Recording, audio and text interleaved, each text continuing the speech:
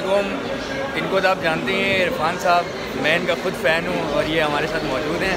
इरफान भाई थोड़ी सी टिप्स मुझे बता दें मैं अपने व्यूवर्स को बताऊँगा कि इरफान भाई से सीखी है मैंने। और मेरे पास कोई टिप है नहीं खास वो कंसिस्टेंटली बना लें। ओके ठीक है ना आपने देख लिया इरफान भाई हमारे साथ थे।